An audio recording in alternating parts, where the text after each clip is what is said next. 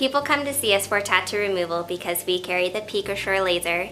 It is faster, there's fewer treatment sessions, it targets multiple colors, and in most cases, the tattoo is completely gone. So the PicoSure is very exciting technology. It's different than previous technology in that it fires much faster. Older technology, if you think of ink as a rock, and the older technology would break that into little pebbles. The PicoSure, because it fires faster, breaks it into sand.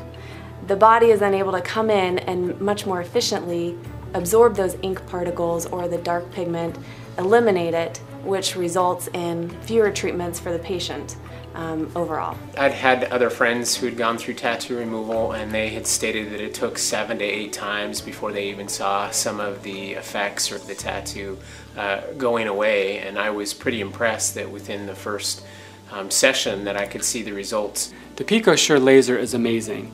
The technology is dramatically different from prior tattoo removal lasers. It allows us to treat difficult tattoo colors like green and blue and brown and erase them dramatically or completely and do it much more quickly than with prior lasers. For the patients, this means fewer treatments and often fewer side effects and a better result.